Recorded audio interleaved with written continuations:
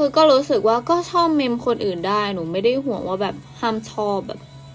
นี่แฟนคลับฉันอะไรอย่างเงี้ย แต่ว่ามันก็จะมี มันก็จะมีบางทีที่แบบว่า มีแฟนคลับบางคนแบบว่า เดินบางท่านเดินเดินเข้ามาแล้วก็แบบว่า เออแบบว่า พี่บทนะ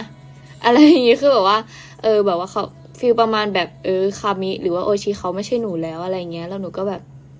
อ๋อโอเคแต่แบบมันก็จะรู้สึกนิดนึงแต่ว่าเขาก็ยังมาจับเราอยู่หรือว่าเขาก็ยังมาไฮชัสแถวหนูอยู่อะไรเงี้ยมันก็แบบอาจจะรู้สึกแย่นิดนึงที่แบบว่า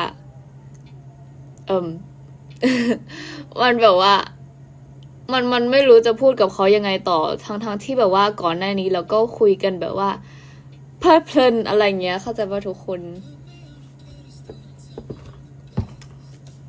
มันก็แค่รู้สึกแย่แต่ว่า เราก็ไปห้ามเขาไม่ได้เนาะขอบคุณที่แจ้งให้ทราบค่ะไม่แต่ว่ามันหนูก็ไม่ได้แบบ แต่ว่ามันก็จะมีบางประเทศเหมือนกันที่แบบว่า ที่แบบว่าเหมือนแฟนคลับก็เป็นเพื่อนกันอะไรอย่างงี้ใช่ไหมแล้วเขาก็เขาก็มาแซวบอกว่าเนี่ย คนนี้บทหนูอะไรเงี้ยหนูก็แบบหนูก็อ้อโอเคค่ะ แต่ว่ามันคือลึกๆมันก็รู้สึกแย่กันนึกออกปะแต่ว่าเราก็ไปห้ามเขาไม่ได้อะไรเงี้ย อืม หรือมันอาจจะแบบสุดท้ายเราก็มาเห็นเขาหน้าฟีดที่แบบว่า เอ๊ะ แอกนี้เขาเคยหวีดเรานี่แต่ว่าเขาไม่หวีดเราอะไรเงี้ยมันก็จะแบบนิดนึงอะไรอย่างนี้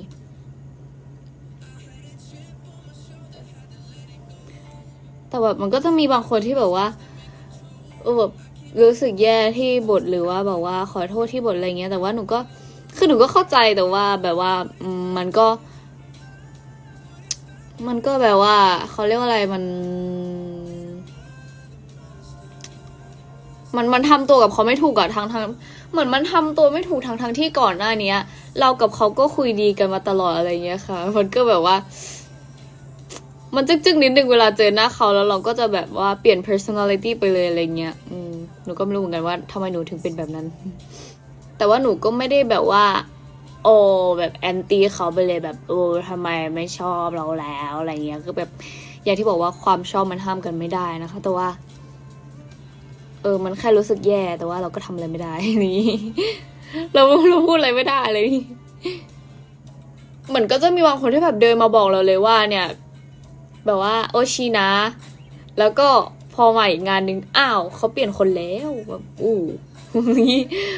รู้สึกว่าเสียใจอะไรอย่างนี้ แต่หนูก็เข้าใจว่าแบบมันก็เป็น